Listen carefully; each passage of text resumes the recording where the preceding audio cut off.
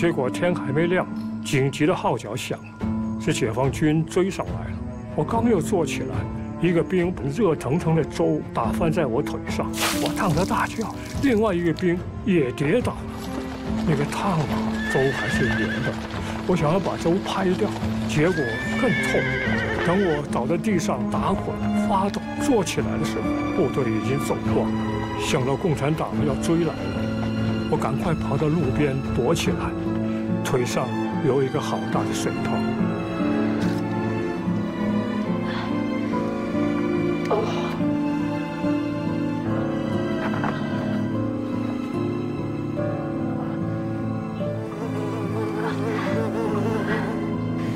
我没办法，我爬起来撑着棍子走，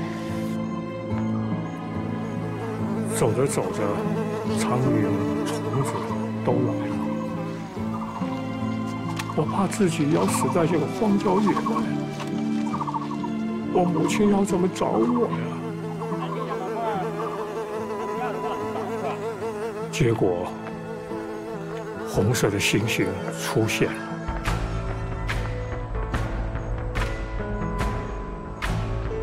等一下，你的腿打回他。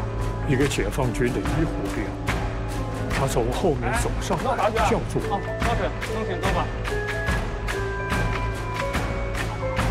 说我这样不行，叫我坐下来。等一下，让我看看你的腿。坐，坐。我做了。你的腿怎么去了？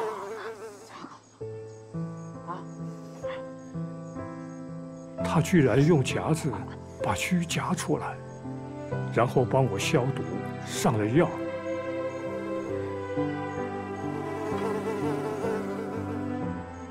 会痛啊！别动，忍着点。